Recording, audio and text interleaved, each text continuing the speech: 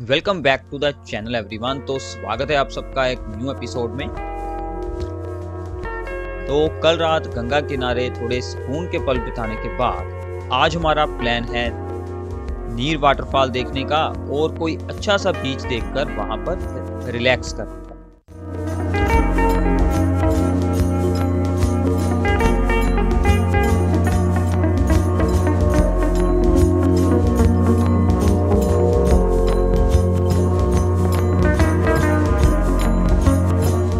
उससे पहले मैंने आपको बताया ही नहीं हम रुके थे गुरुद्वारा श्री हेमकुंड साहिब में। बहुत ही अच्छी जगह है रहने के लिए। साफ़ सुथरे रूम्स हैं यहाँ पर और खूबसूरत गार्डन्स बने हुए हैं और सबसे अच्छी बात आप लोग गुरुद्वारा साहिब के दर्शन कर सकते हैं। बहुत ही अच्छी जगह है रुकने के लिए। और एक बात के गुरुद्वारा साहिब में जब श्री हेमकुंड साहिब की यात्रा शुरू होती है तो उसके लिए यहाँ पर बहुत ही अच्छी तरह से प्रबंध किए जाते हैं। तो आपको यहाँ पर रहने के लिए जगह मिल जाएगी। बहुत सारे रूम्स हैं इनके पास। बाथरूम्स बहुत अच्छे हैं साफ़ सफ़ाई बहुत अच्छी है। और जो इस साल की श्री हेमकुंड साहिब की यात्रा है, वो शुरू हो रही है 25 मई से।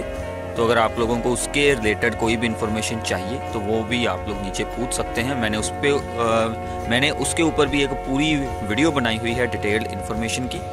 तो वो भी आप लोग ज़रूर देखिएगा। ठीक है, नीचे डिस्क्रिप्शन में आपको उस वीडियो का लिंक मिल जाएगा। और ये है गुरुद्वारा साहिब की मेन एंट्रेंस बाहर मेन रोड से। और यहाँ से आप रूम्स के बारे में पूछ सकते हैं और यहाँ से अंदर जा सकते हैं दर्शन करने के लिए। और ये आगे रास्ता जाता है आपकी कार पार्किंग के लिए और बाकी सब कुछ इसी साइड पर आपको मिल जाएगा।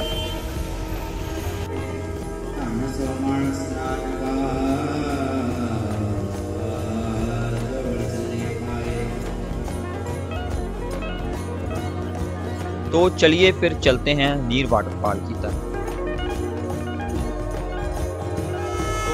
तो ये देखो कि यहाँ पर कितनी ज़्यादा ट्रैफ़िक है। पूरा रास्ता ऐसे ही है। तो हमने अभी दो किलोमीटर आए हैं पूरे डेढ़ घंटे में और ये जो सामने रास्ता जाता है, ये जाता है ऊपर नीर वाटरफॉल को और आगे आ जाएगा शिवपुरी, अगर आप इसी रोड पर रहते हैं मेन। और यहाँ से बोर्ड पर तो ये लिखा है पचास मीटर, वहाँ पर बुकिंग ऑफ़िस है और आगे शायद दो किलोमीटर होगा। और नीर वाटरफॉल पर जाने के लिए आपकी एंट्री भी होगी, आपकी फोर्टी रुपीज़ पर पर्सन की एंट्री होगी।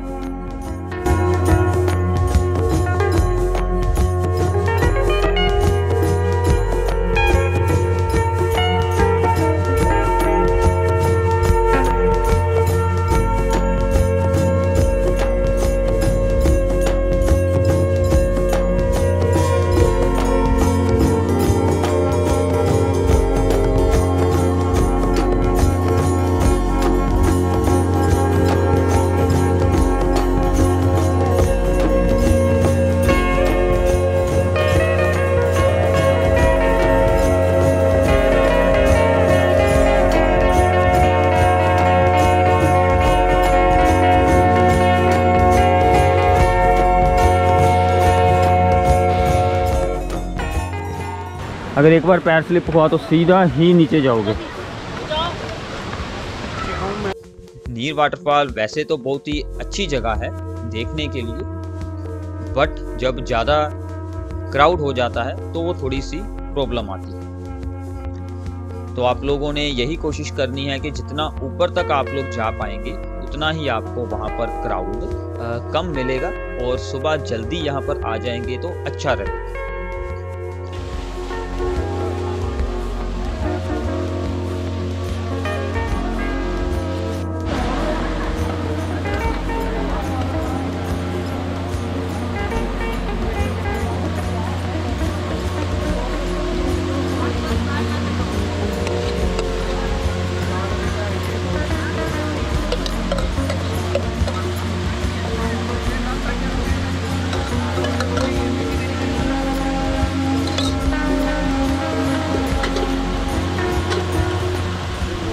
तो ये है नीर वाटरफॉल और इतना ज़्यादा रश हो गया है यहाँ पर।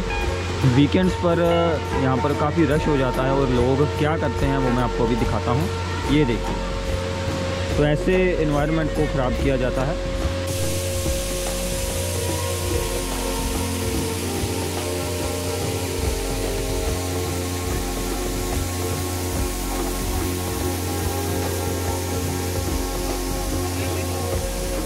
संजू कैसा एक्सपीरियंस है वाटरफॉल का?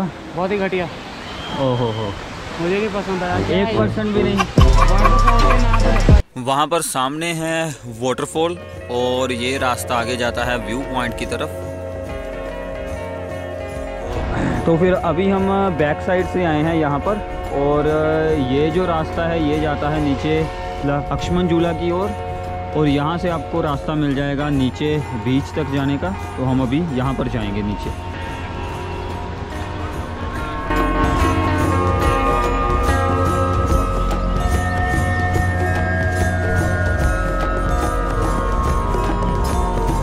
वहाँ से सामने राफ्टिंग स्टार्ट होती है।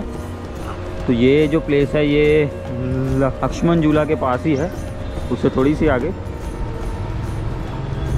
तो वीकेंड्स पर तो बहुत सारे लोग यहाँ पर इंजॉय करने के लिए आते हैं।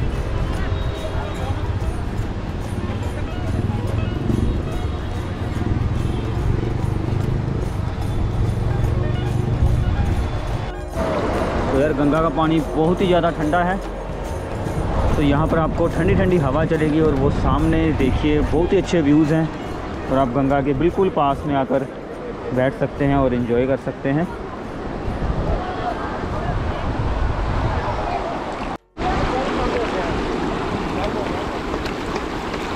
तो अगर आप लोग पानी के नीचे से पत्थर को देख सकते हैं तो इसका मतलब है कि पानी बहुत ही साफ़ है।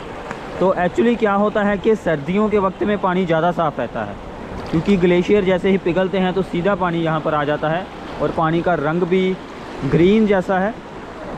अगर यही हम जून, जुलाई में देखेंगे तो यही पानी आपको ब्राउन कलर का मिलेगा क्योंकि बारिश होनी शुरू हो जाती है और बारिश के कारण बहुत सारी मिट्टी जो है वो पहाड़ों से गंगा में आ जाती है। तो अभी तो पानी बहुत ही साफ़ है, बहुत ही साफ़। तो ये आपको यहाँ से आइडिया हो जाएगा। ये देखिए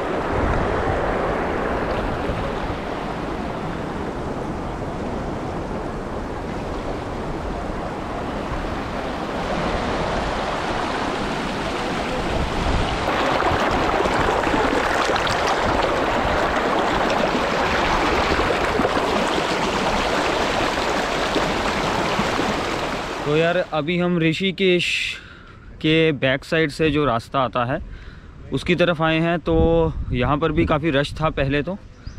तो अभी हमें जाना है वैसे बीटलेस आश्रम तो देखते हैं कि शाम को खुला होता है कि नहीं, क्योंकि पाँच बजने वाले हैं तो आई थिंक कि शायद वो पाँच बजे तक ही खुला होगा। बट ये जो रास्ता है, इससे आपको पूरे ऋषिकेश के व्यूज़ देखने को मिलेंगे। देखते हैं हम अभी, और आपको भी दिखाते हैं कैसे व्यूज़ है यहाँ से। आप देख सकते हैं यहाँ पर नीचे पूरा शहर है, वो सामने गंगा रिवर जा रही है। और ऊपर छोटे छोटे पहाड़ हैं। ये रहा। सामने।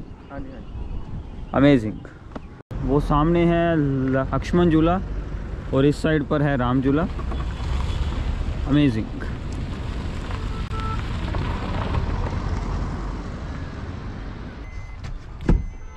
तो ये रास्ता जाता है बीटलेस आश्रम को। अभी देखते हैं कि आश्रम खुला है या फिर नहीं।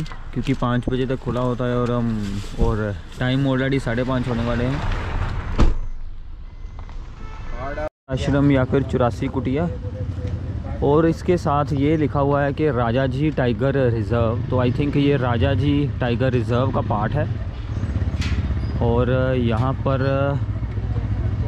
स्टूडेंट्स के लिए फ़ीस है फोर्टी रुपीज़ और जितने भी इंडियंस होंगे, उनके लिए फ़ीस है यहाँ पर वन फिफ्टी और सीनियर सिटीजन के लिए सेवेंटी फाइव और फॉरनर्स के लिए सिक्स हंड्रेड तो काफ़ी कॉस्टली है।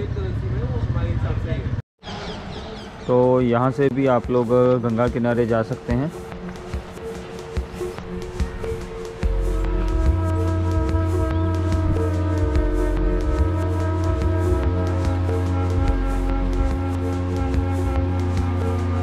और वो दूसरी साइड पर गंगा की, वहाँ पर एक बहुत ही अच्छा न्यू रास्ता बनाया गया है जिस पर कि आप लोग सैर कर सकते हैं साइकिलिंग कर सकते हैं। वहाँ से शुरू हो जाता है जानकी सेतु से, वो जो न्यू बना है ब्रिज और वहाँ तक जाता है वो पूरा।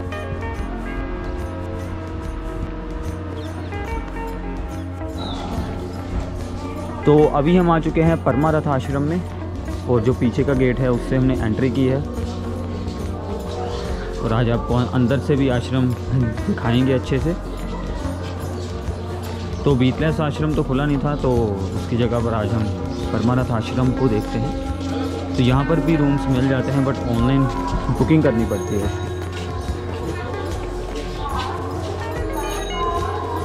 तो आई थिंक के जो शाम की आरती है, वो शुरू हो चुकी है।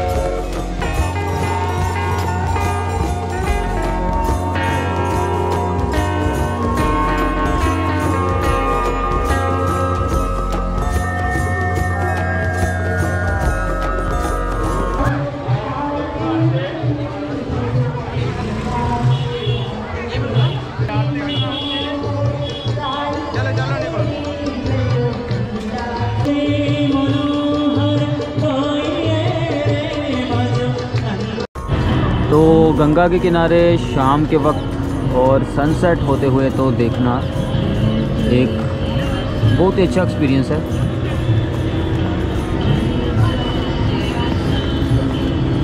तो जब भी आए, ये बिल्कुल मत मिस करना।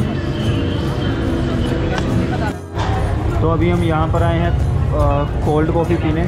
थोड़ी सी स्ट्रॉन्ग लेंगे ताकि, क्योंकि हमें अभी रात का सफ़र करना है। ये हमारी कोल्ड कॉफ़ी तो ये थी वो शॉप परमारथ आश्रम से बिल्कुल बाहर आते ही।